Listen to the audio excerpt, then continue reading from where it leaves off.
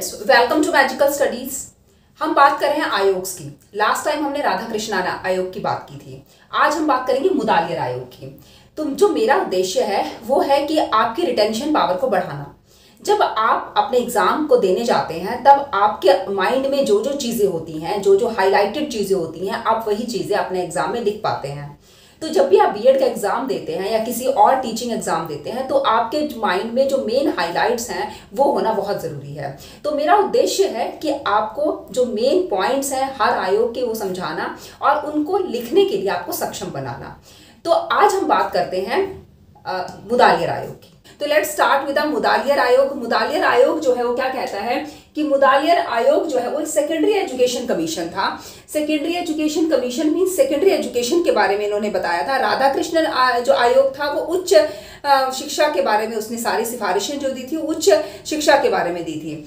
और इसकी जो नियुक्ति थी, वो 23 सितंबर 1952 को इसकी नियुक्ति हुई थी। अध्यक्ष जो है, इसके हैं डॉक्टर एस लक्ष्मण स्वामी मुदालियर। इन्हीं के नाम की वजह से ही इसका आयोग का जो नाम था, वो मुदालियर आयोग लिखा गया। ये जो उप कुलपति थे मद्रास यूनिवर्सिटी के, ये भी आप याद रखिएगा कि ये मद्रास यूनिवर्सिटी के उपकुलपति थे। बाकी जो सदस्य थे, उनका नाम भी याद रखिएगा, क्योंकि जो भी माध्यमिक शिक्षा के जो भी आयोग होते हैं, वो आपके जो कॉम्पिटेटिव एग्ज़ाम्स हैं, उसमें भी पूछे जाते हैं। तो कई बार इससे भी एक क्वेश्चन बन जाता है कि कौन से सदस्य जो है, वो इस आयोग में शामिल थे। तो आपको सबके नाम एक बार मैं बता देती हूँ। सबसे पहले हैं Shrimati Hansa Mehta, J A Taraporewala L Shrimali T Vyas K G Saiyidain doctor A N Basu थे, डॉक्टर चारी हैं और डॉक्टर केनेथ विलियम्स और जॉन क्रिस्टी ये इनके अदर सदस्य थे। अध्यक्ष के अलावा जो अदर सदस्य हैं, वो उनकी यहाँ बात की गई है। उसके बाद इस आयोग के उद्देश्य क्या है? इस आयोग के जो मेन उद्देश्य है, वो क्या क्या है? तो मेन जो फ़र्स्ट उद्देश्य यहाँ पे हम चार उद्देश्यों की बात करेंगे। जो मेन उद्देश्य है, उसमें से जो पहला है, वो क्या है? कि लोकतांत्रिक नागरिकता का विकास करना। लोकतांत्रिक नागरिकता, या हम कह सकते हैं development of democratic citizenship democratic citizenship या हम कह सकते हैं लोकतांत्रिक नागरिकता क्या होती है?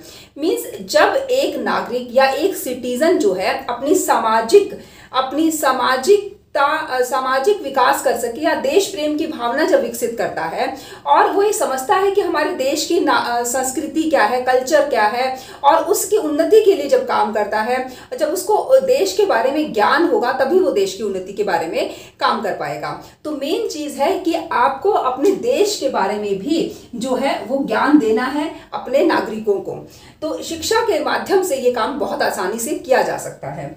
दूसरा जो काम है, दूसरा जो उद्देश्य है, वो मुदालियर आयोग ने बताया था कि व्यावसायिक कुशलता में वृद्धि। Means improvement of vocational efficiency improvement in vocational efficiency को हम ये कह सकते हैं कि जो भी व्यावसायिक प्रशिक्षण है शिक्षा में व्यावसायिक प्रशिक्षण भी दिया जाना चाहिए विद्यार्थियों को ताकि वो स्वावलंबी बन सके और देश की उन्नति कर सके। क्योंकि जब जब तक वो दूसरों पर आधारित रहेंगे, तब तक वो देश की उन्नति नहीं कर सकते।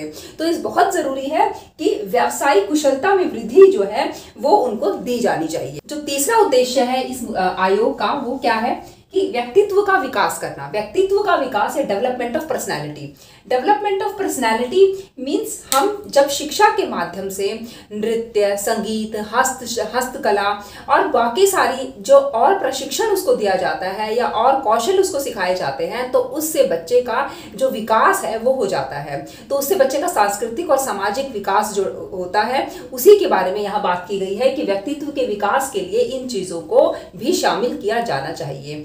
जो फोर्थ है फोर्थ जो नेतृत्व का विकास है, यहाँ पे ये भी उद्देश्य माना गया कि हमें मुदालिर आयोग ने कहा कि हमें शिक्षा के माध्यम से नेतृत्व की भावना का भी विकास करना चाहिए, ताकि जो छोटे छोटे समूह हैं या वर्ग हैं, या गाँव में, मोहल्लों में जो छोटे छोटे वर्ग बन जाते हैं, उनको भी नेतृत्व करने की भावना जो है, बच्चों के अंदर डालनी चाहिए, ताकि उनका भी पथ प्रदर्शन जो है, वो हो सके। तो ये चारों उद्देश्य जो है, मुदालिर आयोग ने बताए।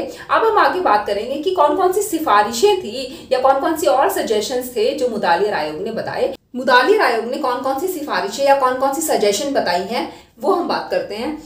कि जो मुदालियर आयोग था, उसने कहा कि माध्यमिक शिक्षा की जो अवधि के बारे में उन्होंने बताया कि सात साल की इसकी अवधि होनी चाहिए। इसमें जो तीन वर्ष की जो जूनियर माध्यमिक मीन्स जो मिडल एजुकेशन जो हम देते हैं, वो six to eight means six to eight के लिए माध्यमिक तीन वर्ष की होनी चाहिए माध्यमिक शिक्षा और चार वर्ष की उच्चतर माध्यमिक शिक्षा मीन्स जिसको हम हायर सेकेंडरी एजुकेशन बोलते हैं means ninth to twelfth means ये चार साल की आपकी होनी चाहिए। जो 11 वर्ष की इन्होंने बताया कि ये जो एजुकेशन है हमारी जूनियर और जो हायर सेकेंडरी है, उसका जो टाइम पीरियड होना चाहिए, वो 11 वर्ष से लेकर 17 वर्ष की आयु के बीच में बच्चों की जो ये आयु निर्धारित की गई है। उसके बाद तीन साल का जो स्नातक मतलब ग्रेजुएशन जो है, वो तीन साल की इन्होंने बताई कि तीन साल की स्नातक पाठ्यक्रम होना चाहिए। बहुउद्देशीय विद्यालय के बारे में उन्होंने बताया कि बहुउद्देशीय विद्यालय ऐसे विद्यालय होते हैं क्या हम कह सकते हैं उसको मल्टीपर्पज स्कूल मींस जहाँ पे बच्चों की रुचि के हिसाब से, उसकी योग्यता, उसके सामर्थ्य के हिसाब से जब उनको कोर्स प्रोवाइड कर दिए जाते हैं, उनको कोर्स दे दिए जाते हैं कि अगर किसी को हस्तकला में इंटरेस्ट है तो वो उसके हिसाब से कोर्स कर सकता है, किसी को पढ़ने में इंटरेस्ट है, किसी को आर्ट्स में, किसी को साइंस में तो उसी के अकॉर्डिंग जो है बहुविकल्पीय या बहुउद्देशीय विद्यालय की जो है स्थापना की जानी चाहिए। अकॉर्डिंग टू द मुदालियर आयोग, ये बहुत इंपॉर्टेंट है, बहुत क्वेश्चन बनते हैं बहु विद्या बहुउद्देशीय विद्यालय के ऊपर। उसके बाद जो मेन और एक और पॉइंट है, वो है प्रावधिक विद्यालय की बात इन्होंने की। सो सबसे पहले मल्टीपर्पज स्कूल की किसने बात की? और सबसे पहले टेक्निकल एजुकेशन या टेक्निकल स्कूल्स की बात किसने की? तो ये दोनों ऑप्शन आपके मुदालियर आयोग ने ही बात की है। ठीक है तो प्रावधिक विद्यालय है टेक्निकल स्कूल्स जो टेक्निकल स्कूल्स हैं, वो भी खोले जाने चाहिए।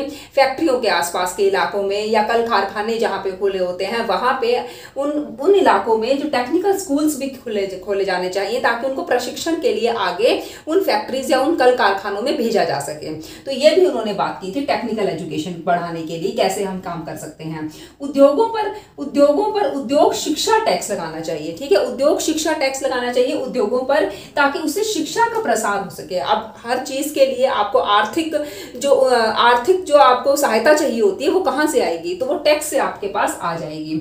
उसके बाद ग्रामीण विद्यालयों में जो कृषि शिक्षा का जो प्रबंध करवाना चाहिए तो ग्रामीण विद्यालय जो है, वहाँ पे कृषि शिक्षा, क्योंकि जो ग्रामीण में कृषि का बहुत जो व्यवसाय है, वही चलता है तो वहाँ पे ऐसी अच्छी कृषि शिक्षा भी सिखाई जानी चाहिए विद्यालयों में, और वो ग्रामीण विद्यालयों में ज़्यादा स्पेशली उनका प्रबंध होना चाहिए।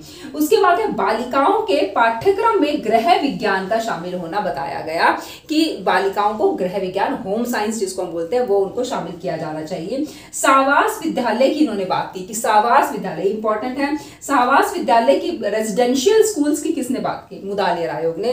रेजिडेंशियल स्कूल्स की बात की गई है। उसके बाद दिव्यांग बालकों के लिए। दिव्यांग बालकों के लिए भी स्पेशल विशिष्ट स्कूल खोले जाने चाहिए। जो हैंडीकैप बच्चे हैं, उनके लिए भी विशिष्ट स्कूल खोले जाने चाहिए।